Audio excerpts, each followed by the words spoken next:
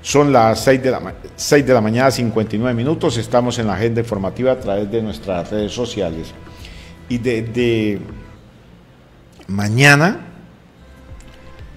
eh, pasando a otro tema, desde mañana la, registra, eh, la Registraduría del Estado Civil abre inscripciones de cédulas. O sea, puestos de. Si yo, un ejemplo, voto en, en el Colegio Santander y yo quiero pasarme al colegio allí Santa Teresita que me queda más cerca, más cerca mi vivienda, lo pueden hacer.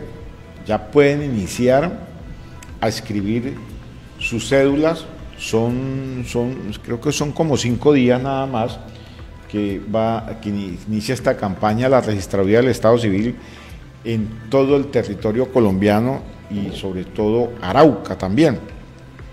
Que hay colegios como hay puestos de votación como el Camilo Torre, que allí ya no se va a aceptar eh, una persona más porque ya llegó al tope de, del censo y las personas deben de inscribirse, eh, un ejemplo, en el, en el Córdoba. Lo mismo va a pasar con el sector del Colegio Nacional Simón Bolívar. Allí ya no se va a aceptar una persona más que se inscriba para votar en el Bolívar porque ya llegó a su tope y pasaría a, eh, eh, inscribirse para el Colegio de los Libertadores. Esto con el fin de no congestionar tanto los puestos de votación y que ya tiene el censo estos puestos y no se pueden sobrepasar. Entonces, esto lo viene adelantando a partir de mañana, lo va a adelantar la Registraduría del Estado Civil aquí en Arauca, donde inician con esta campaña para que se puedan acercar y escribir sus cédulas para poder votar en el mes de octubre las elecciones regionales, tanto para gobernador como para alcaldes, como para diputados, consejo y ediles. Hablamos con la delegada departamental Marjorie Lago Huitragos.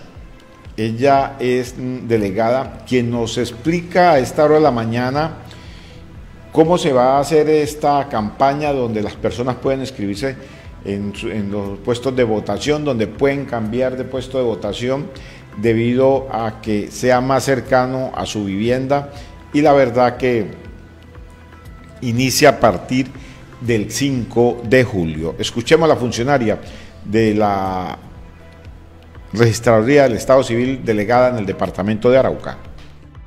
Eh, como lo decía Daniel, del 5 al 13 de julio iniciamos el proceso de inscripción de ciudadanos en los respectivos, en los diferentes puestos de votación, ¿cierto? En este momento contamos con 69 puestos de votación en el departamento. Para la zona rural tendríamos 36 puestos de votación y para la zona urbana tenemos 36 puestos de votación.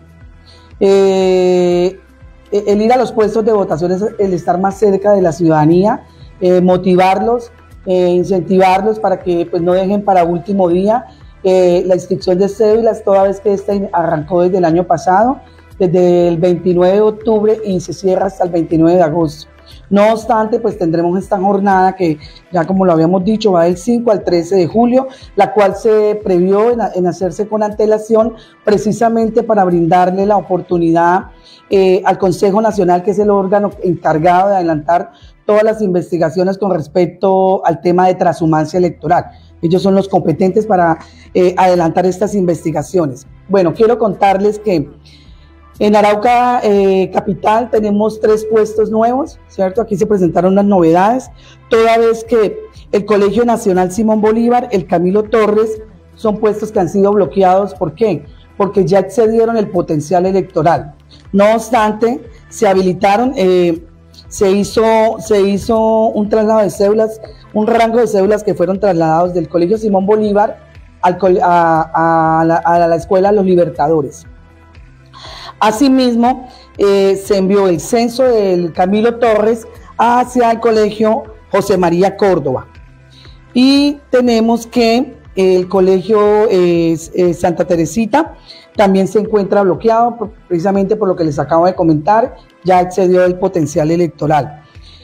Tenemos que el colegio Santa Teresita, que es otra novedad, este colegio funcionaba antes como puesto censo, ahora va continúa como un puesto pues normal, ¿no? Allí pueden inscribirse todas las personas. Lo que siempre se busca con el tema de inscripción de cédulas precisamente es para aquellas personas que cambiaron de domicilio, que, que cambiaron de residencia, que cambiaron de ciudad, ¿sí? Para que el puesto de votación sea el más cercano al de, al de, al de, hasta el lugar de su residencia.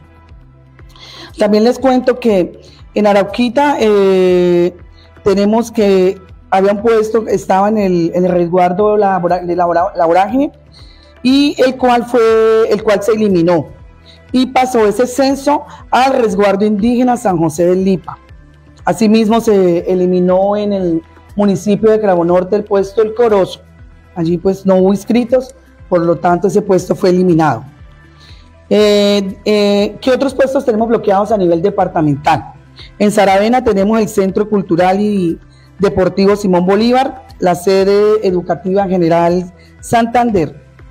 Y tenemos en Fortul el Polideportivo Municipal, que sería básicamente eso. También tenemos en Tame bloqueado el puesto oriental femenino. Sería, eh, se preguntarán, ¿para estas elecciones votan los extranjeros? Si bien es cierto, eh, son unas elecciones eh, regionales, territoriales, aquí solamente pueden votar quienes, los extranjeros que tengan la cédula, la, cédula de extranjería vigente con categoría de residente y la cual pues la hayan inscrito, que aparezcan dentro, de, dentro del censo. Como ya les había comentado, las inscripciones van hasta el 29 de agosto, eh, por lo tanto pues reiteramos nuevamente la invitación para que todos los ciudadanos pues se acerquen, no obstante tenemos eh, dos puestos móviles que han venido funcionando desde hace tres meses en el parque principal y en la alcaldía municipal. Nuestras oficinas registrales siguen funcionando con la inscripción de ciudadanos. ¿sí? 11 horas del hecho de que nos vayamos a los puestos de votación, seguiremos funcionando con el horario de, de 8 a 4 de la tarde en nuestras oficinas eh, y en los puestos de votación que se van a habilitar del 5 al 13, que, que se, van a, se, van a, se van a adelantar esas inscripciones, el horario va a ser de 9 de la mañana a 5 de la tarde cuando hablamos de, puestos bloqueados, expliquemos un poco a la comunidad, a la gente, eh, ¿qué es un puesto bloqueado? Bueno, como les había dicho, el puesto bloqueado es porque ellos tienen un, un, potencial electoral. Sí, está, hay un potencial mínimo y este potencial en los puestos ya se excedió. Por lo tanto, nos obliga a nosotros a habilitar eh, un nuevo puesto de votación. quiere decir que no vaya a funcionar. Este puesto funciona. En el caso del Colegio Simón Bolívar, se habilitaría la escuela eh, los libertadores. Eso, ese rango, hay un rango de cédulas que se pasa para este puesto de votación. ¿Cómo sabe la gente que habitualmente vota ahí si la cambiaron o no la cambiaron? ¿O cómo va a operar eso? No, porque es que esto es para inscripciones nuevas. ¿sí? Aquí ya no se inscriban más personas. El que vota en el Sí, ha venido, claro, porque este puesto sigue habilitado. No, no se agregan más al censo. Por eso le digo, ya el potencial electoral excedió, ya está el potencial al tope. Bueno, ahí está Barjori Lagos Buitrago, delegada departamental de la registraduría, dando a conocer sobre esta campaña que inicia a partir de mañana, 5 de julio, en todo el departamento de Arauca. Habló también de los puestos de votación, las personas que eh, puedan inscribirse o cambiar de puesto de votación lo pueden hacer, que hay algunos que no se va a aceptar una persona más debido a que ya se cumplió con el tope del censo electoral para estos puestos de votación, que lo tienen que hacer es en otros puntos que eh, allí el funcionario les entregará toda la información que requieran eh, a las personas que vayan a cambiar de puestos de votación.